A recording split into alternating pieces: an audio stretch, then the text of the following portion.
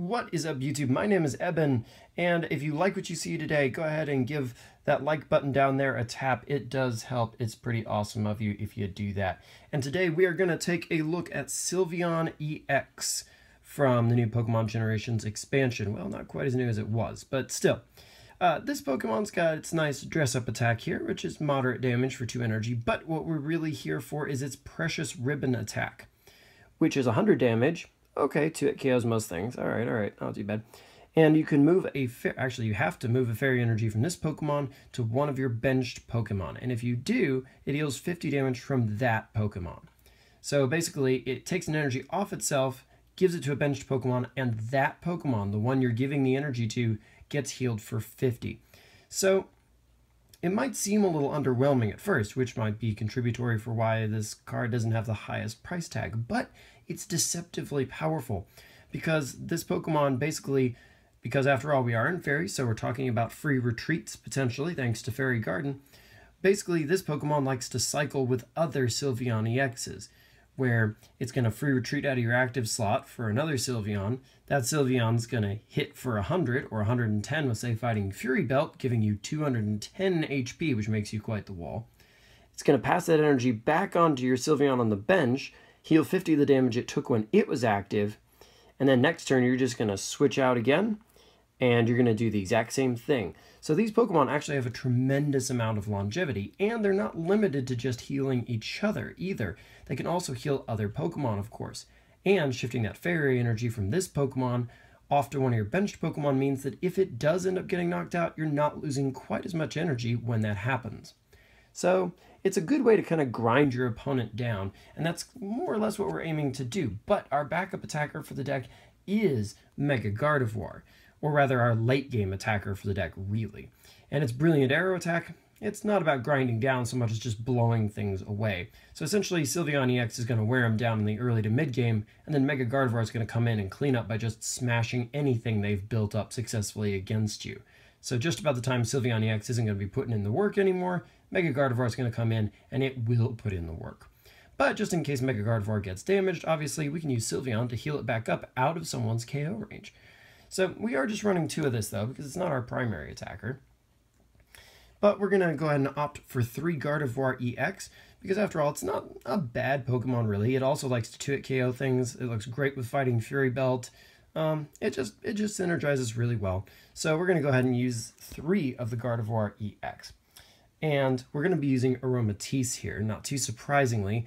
Uh, it kind of goes hand in hand with Fairy Garden, and, well, almost every Fairy deck really likes it.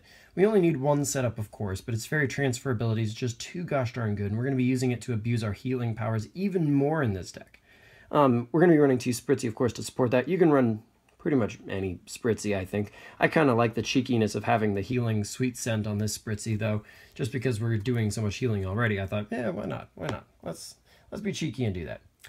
I'm just opting for two Xerneas in this deck because we're going to kind of search it out. And the thing is, after your first few turns, Xerneas really isn't that good anymore. So we're, we're trying out just running two regular Xerneas, and that's it.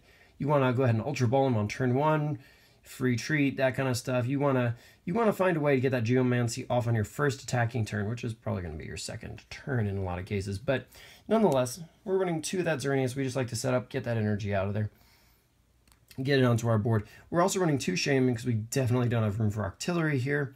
And uh, we are also running uh, Hoopa EX because we've got so many EXs in the deck and it really helps set up our Mega and whatnot. And because of Hoopa, we definitely want to run Shaymin instead of Octillery once again, just because Hoopa obviously can go get Shaymin as well as two other things and we can power through our deck pretty efficiently.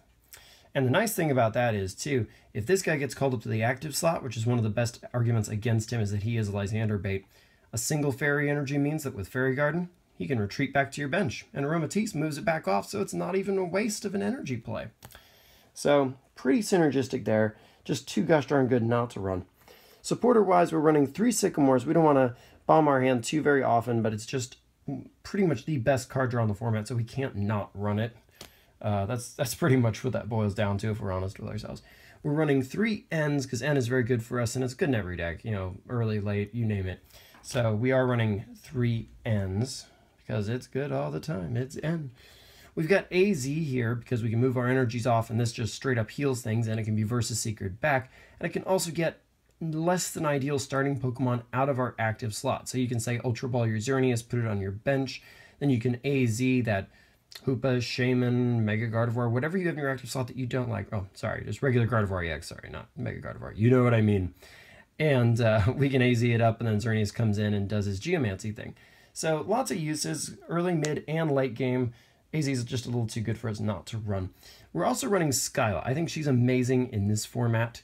Uh, and it's just so hard to work her into decks right now, which I think is the main reason she's not being played. But here, we had the ability to work her in, and she's just such a good versus seeker target because virtually everything in our deck that's not a supporter is something we could potentially really want in the right situation. And even though we run many copies of it, Skyla is still just one more out to it, and it's a very easy to get one because once she hits our discard pile, those four versus seekers are all potentially Skylas to go get those cards. So, and you'll see all the things she can fetch and why she is so nice to have in this deck. But we also run one Lysandre for all the obvious and all the right reasons. And we also have Hexmaniac because with Carbink and its Safeguard running around, and yeah, a few other things that can also be problematic for us, and of course, Vileplume. Uh, Hexmaniac is just just a little too necessary with our main attackers all being EXs. So unless you enjoy attacking with Aromatisse for knockouts, which I know I don't particularly, and I don't particularly enjoy attacking with Xerneas either, when it's not Geomancy I'm attacking with, yeah, we kind of have to have Hexmaniac. And in the matches where it's not important, you just discard it and forget it's there. But, uh, yeah, we kind of have to have it. We're running two Gardevoir Spirit Links, one for each of our Mega Gardevoirs. And this is definitely Skylabait number one, because when we really need this, we want to go find it. Skylaying for it can be very nice, kind of accelerate us a bit especially if one of them gets prized. We'll definitely want to be able to find the other one. We're running four Ultra Balls because, well, we're going to want to definitely make sure we get the Aromatisse, we get the Mega Gardevoir, we get the Sylveon, whatever it is we need for that particular situation. Of course, it's also a great setup for Shaymin or for Hoopa for Shaymin. Uh, you know, you kind of get the idea there. And amazingly, this is also Skylabait because just because you got four doesn't mean you're automatically going to draw one. And Skylaying for that obviously can be very good, especially in the late game where you might need something in particular, especially after you Super Rod or something like that. We're running four versus Seekers, as we've already, already kind of uh, intimated. And we are running a full set of four Fairy Gardens. Uh, a lot of decks do rely on stadiums quite a bit, and we definitely rely on our Fairy Garden to uh, keep kind of our battle plan going with Sylveon EX. So four is going to be the number. And yes, it is also Skylabait because sometimes you're just going to have to get out of that active slot to kind of preserve prize count and stuff like that. So we are running a full four to counter other people's stadiums. Don't play it until you necessarily need it, but uh, we want to make sure we can win the stadium war if at all possible. So that is why we're running four. And keeping in our theme of fairies liking to not get knocked out even after they've taken huge amounts of damage, we can move energies off of things with uh, Aromatisse. We can max potion it right up, and then we can move energies back. So this is just one more way we can heal up and be generally difficult for our opponent to knock out. We're also running three Fighting Fury belts. These are pretty much exclusively for Sylveon EX, but in a pinch you can slap it on things like Xerneas or just the regular Gardevoir EX. Obviously Mega Evolving makes this kind of worthless, but uh, but if you put this on your Gardevoir, you're not planning to Mega Evolve under those circumstances. Uh, it, it's just a great way to maybe chip off a little more damage, but primarily move ourselves out of one-hit KO range for people. So pretty crucial for Sylveon's plan of switching around and healing and whatnot. Our final item is Super Rod. We've got just the one, so once again, mm, Skylabait. And the idea is that if our, you know, if our, like say one Aromatisse goes down, then that's one Spritzee and one Aromatisse, both that are in our discard pile, and any prizing of either one of the other ones means we won't be able to have our Aromatisse up, so we need a way to bring it back. And if too many energies get discarded, things like that. It's, it's just very utilitarian for us.